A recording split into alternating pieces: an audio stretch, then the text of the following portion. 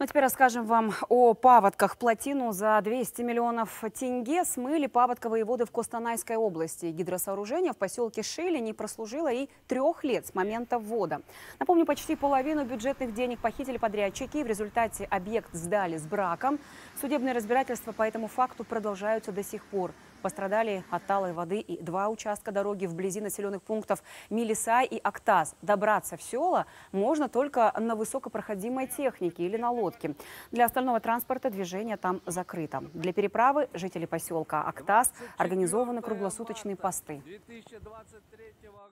Дежурит 4 спасателя на высокопроходимой э, технике, а также имеется наличие лодка. На месте дежурства имеются сотрудники полиции и представители местных исполнительных органов.